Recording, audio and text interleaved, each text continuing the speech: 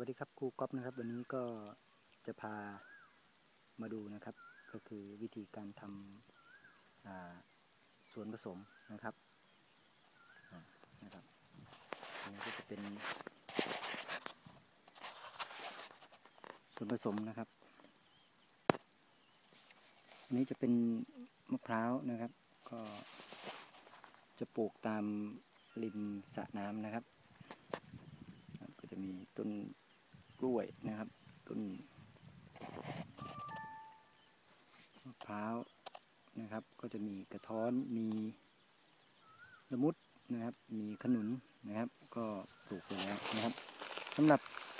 ที่เห็นนี้นะครับก็จะเป็นฟางนะครับที่ใช้สำหรับคุมดินไว้นะครับ เพื่อรักษาความชื้นของหน้าดินไว้นะครับ ตัวนี้จะช่วยในการ รักษานะครับเขาเรียกว่าดินเค็มนะครับ ดินเปรี้ยวได้เป็นอย่างดีนะครับนะครับตัวนี้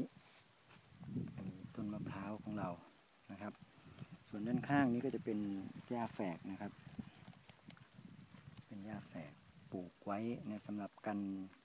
หน้าดินยานชะของหน้าดินนะครับนี่นะครับหญ้าแฝกจะปลูก ล้อมรอบ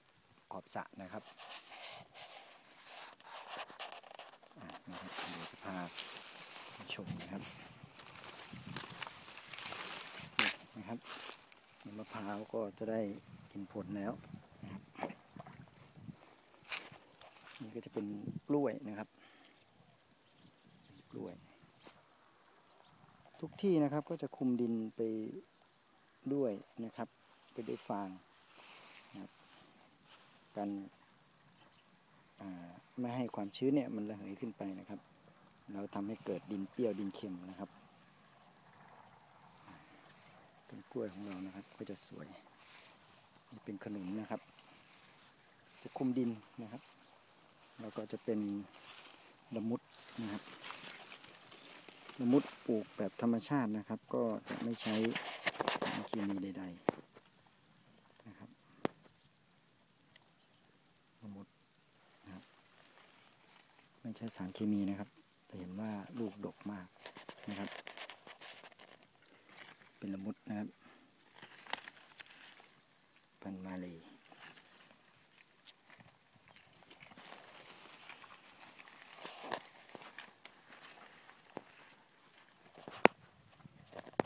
นี่ครับลูกดกมาก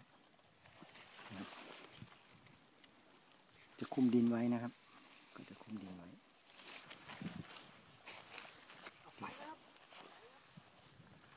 ะครับอันนี้ ล้อมตะข่ายไว้ก็สำหรับที่กันพวกนกพวกอะไรนะครับมีมะม่วงนะครับ ก็กำลังออกดอกแล้วนะครับน้ำดอกไม้ของเรานะครับสังเกตดูได้ทุกต้นก็จะมีฟางนะครับคุมดินไว้นะครับ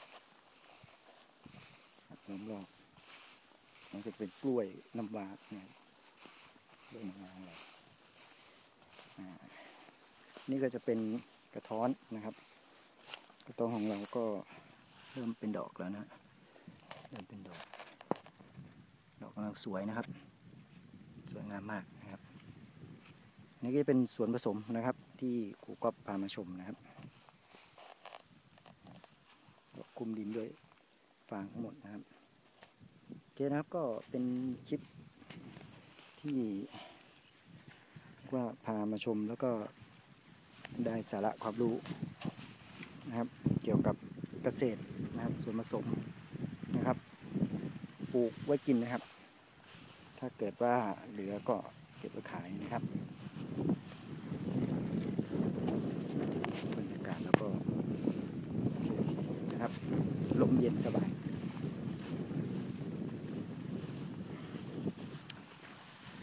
ก็ขอขอบคุณนะครับที่อ่า รับชมคลิปนะครับ อย่าลืมกดติดตาม กดไลค์ กดแชร์นะครับ ให้เป็นกำลังใจนะครับ แล้วก็สร้างสรรค์ผลงานดีๆ ออกมาให้ท่านผู้ชมดูนะครับ ครับ ขอบคุณครับ